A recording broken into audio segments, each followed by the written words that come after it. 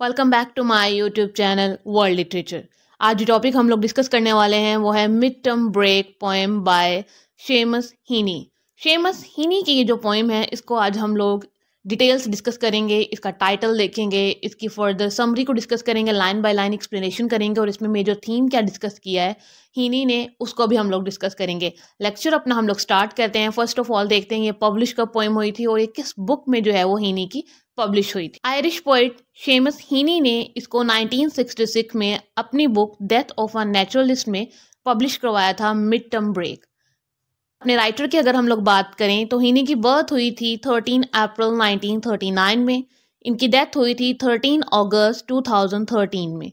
Irish poet थे playwright थे translator थे। इनको नोबेल प्राइज़ लिटरेचर में मिला था 1995 में। और इनका जो मोस्ट फ़ेमस वर्क है, वो है डेथ ऑफ़ अ नेचुरलिस्ट जो कि 1966 में आया था। इसी बुक में आज की जो हमारी पोएम है मिड टर्म इसको भी हम लोग डिस्कस करेंगे।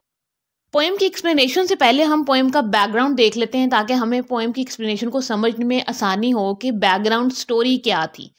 एक्चुअली में हीने की ब्रदर की डेथ हुई थी 1953 में कार एक्सीडेंट में।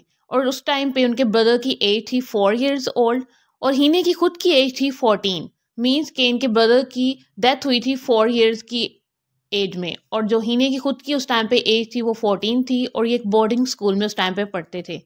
और उसकी डेथ पे जो है ना ये अपने घर पे आते हैं और वो सारा सीन जो है वो इन्होंने इस पोएम में डिस्कस किया है। उसके बाद इन्होंने इस चीज़ को भी डिस्कस किया है कि जो इतना बड़ा इनको गम मिला, इनके फैमिली को इतना बड़ा दुख मिला, इसको इन्होंने सर्वाइव कैसे किया?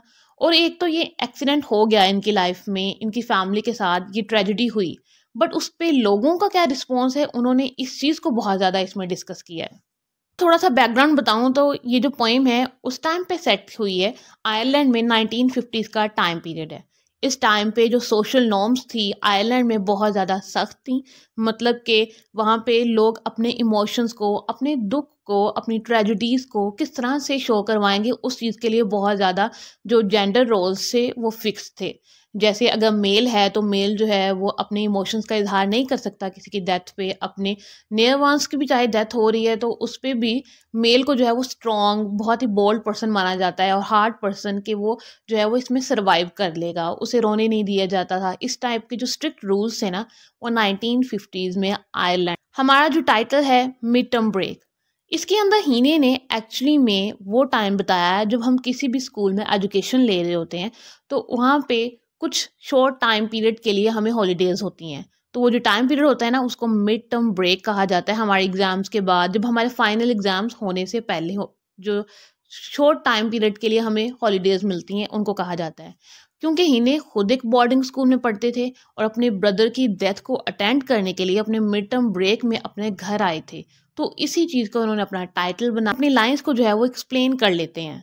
फ़र्स्ट लाइन जो है वो हमारे पास ये है I sat all morning in the college sick bay counting bells knelling classes to are close कि मैं सारा दिन ही ने जो है वो एक ऑटोबायोग्राफिकल उन्होंने पोइम लिखी है तो वो खुद ही से जो है ना वो इसको नरेट करें। कहते हैं कि मैं सारा दिन जो है ना वो कॉलेज सिक बे में बैठा रहा हूँ एक नर्सिस का रूम था जहाँ पे मैं बैठा रहा हूँ और मैं ना बेल्स को गिनता रहा हूँ। क्योंकि बेल जो है, जब वो होती है कि वो हमारे स्कूल में एक पीरियड होता है, एक फोर्टी मिनट्स का, वो जब ख़त्म हो जाता है तो सेकंड बेल होती है मीन्स के सेकंड जो पीरियड है, वो स्टार्ट हो चुका है नेक्स्ट टीचर ने अब क्लास में आना है। और एंड पे जब बहुत ज़्यादा बेल्स होती हैं तो मीन्स के अब जो है ना, वो छुट्टी का टाइम हो चुका है। तो यहाँ पे वो बैठे बेल्स को गिन रहे हैं। बेल्स को यहाँ से हम लोग एक और चीज़ के साथ भी सिम्बलाइज कर सकते हैं।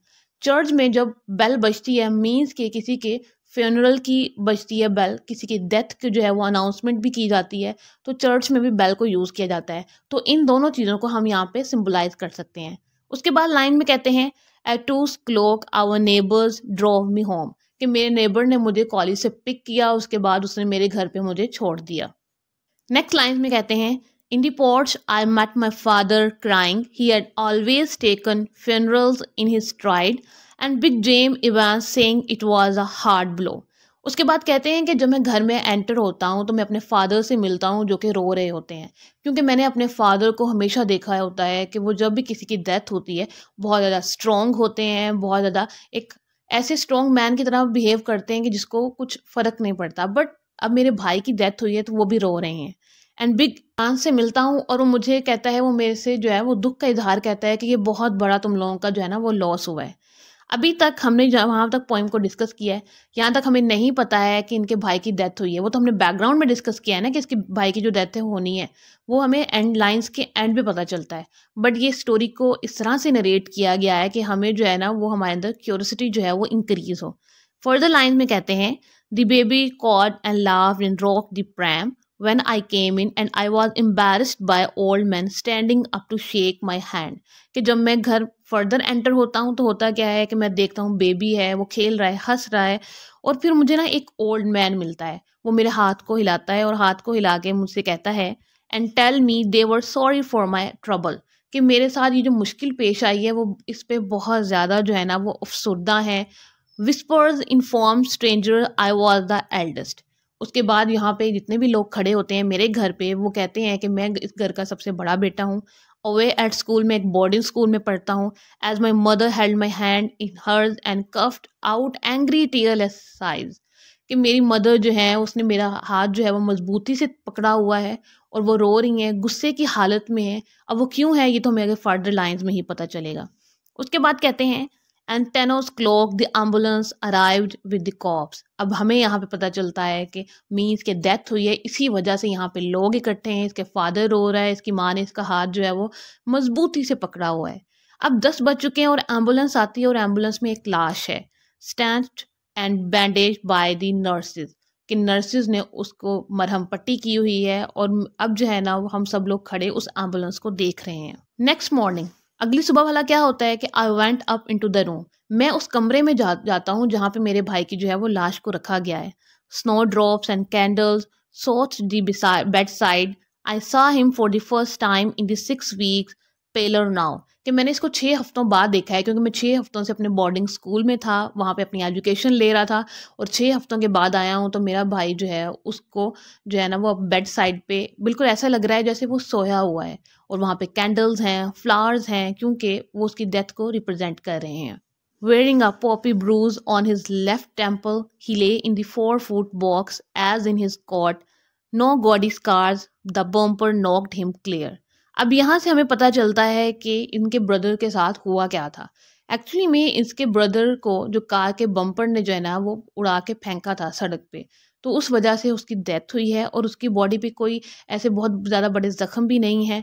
थोड़े बहुत हैं, लेकिन उस पर भी मरहम लगाई हुई है और यहाँ से पता चलता है कि बहुत ज़्यादा ज़ख्मी नहीं हुआ था जब उसकी डेथ हुई थी। और foot box a foot for every year अब यहाँ पे ये जो लाइन है बहुत इंपॉर्टेंट है। मीन्स के जो बॉक्स है जिसके अंदर उसको बंद किया गया है, वो फोर फुट है। मीन्स के क्योंकि वो उस, उनके ब्रदर की जो एज थी, वो भी चार साल थी। अब जो जो साइज़ है उस बॉक्स का जिसमें उसको बंद किया गया है, उस लाश को, वो भी फोर फुट है।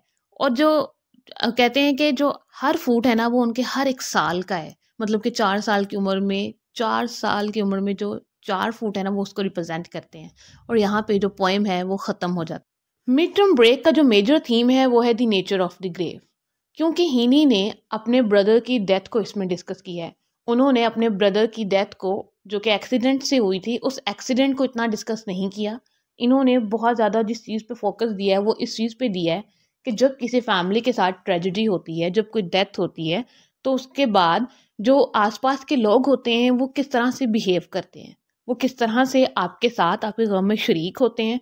किस तरह से आकर आपके लोगों, वो घर में जो जमा हो जाते हैं और उसके बाद जो है वो हर कोई अपना रिस्पॉन्स दे रहा होता है। जैसे कि ही जब अपने घर में एंटर होते हैं तो वो जो ओल्ड मैन है, उनको क्या कहता है कि तुम जो है वो एल्डेस्ट ब्रदर हो अब, और साथ ही साथ कि जो ये तुम लोगों का जो दुख है वो बहुत बड़ा है, एक बिग लॉस है, उसके बाद उनकी मदर जो है वो कितनी ज़्यादा गुस्से में है इस वजह से अपने, जो बेटे की डेथ की वजह से।